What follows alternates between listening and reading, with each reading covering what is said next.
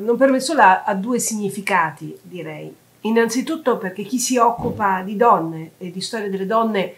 non lo fa per sé, lo fa per un obiettivo che non è solo quello scientifico e storiografico, lo fa perché crede che ristabilire una diversa narrazione della storia significa anche aiutare le donne nel loro processo di emancipazione, di crescita, di, di empowerment. Ho voluto raccontare la storia delle italiane attraverso i romanzi delle scrittrici. Beh, le scrittrici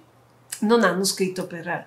se stesse da sole, hanno raccontato un mondo che non era affatto eh, scontato. Perché raccontare la storia delle italiane partendo dai romanzi delle scrittrici? Beh, perché i romanzi delle scrittrici hanno rivelato sin dall'Ottocento una storia femminile diversa, diversa da quella narrazione ufficiale che voleva le italiane come um, delle spose sottomesse, come delle madri dedite uh, al sacrificio, come delle donne che puntavano tutto all'amore, poi viceversa verso cui non si riconoscevano magari dei diritti eh, oppure non le si lasciava libere di, di studiare o di esercitare delle professioni, ma si esercitava una protezione eh, amichevole. Grandissime scrittrici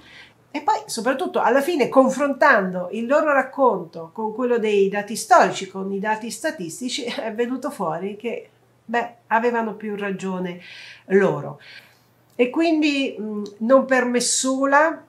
anche perché nella parola sola c'è tanta solitudine delle donne italiane per ribadire che non siamo state molto amate, ma siamo state molto più ribelli di quanto uh, si voglia far credere. Non per me sola edito dalla terza. E fra l'altro è anche una parafrasi, e lo voglio ricordare, da una frase di ritratto in piedi eh, di Gianna Manzini, eh, Gianna Manzini in questo romanzo bellissimo parla di una bellissima figura che è quella del padre e questo per dire che ovviamente ci sono stati degli uomini diversi, ce ne sono sempre di più e credo che queste operazioni ehm, servano proprio a questo, a dare forza non solo alle donne ma anche agli uomini perché un rapporto diverso fra uomini e donne si può costruire e questo rende senz'altro la storia migliore.